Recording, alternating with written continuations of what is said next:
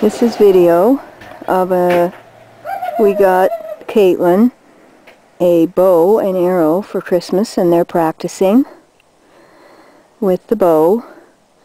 And our turkeys have decided to join them. So uh, these are wild turkeys.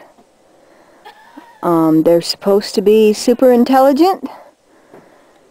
However, um, they're hanging out behind the target. And they're having a little trouble with their practice this morning with the new Christmas bow and arrow. Because the turkeys have decided that they're going to join them.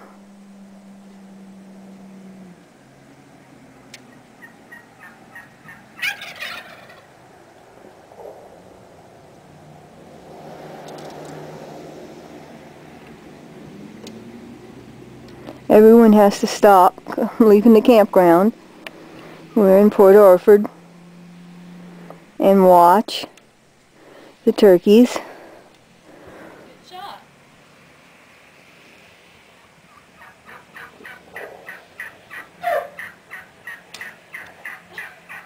yeah, that was genius. They're not careful, they're going to be an after Christmas dinner. Oh, it's not too cold out here. I think we can go out with these today. Ooh, like that. Aim for a. No.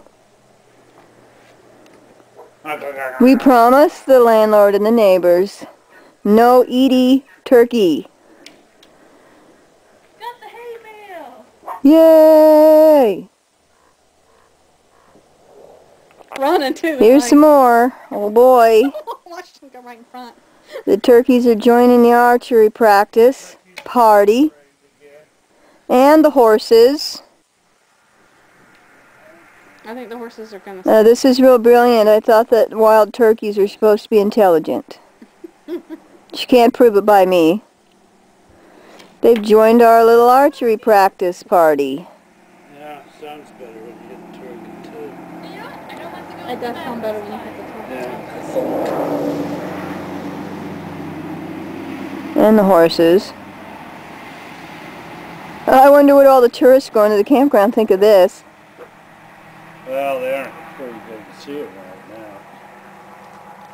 That one motorhome went by twice. he turned around right down there and came back by, and they had cameras in the windows as they went by when the turkeys are right out front. Yeah, we get a lot of that. Our, quote, wild turkeys. Overstuffed. Wow. Overstuffed wild turkeys, yes. There they are out by the boat. Just put some. Silly things. Right out here. in the No, let's not say we did.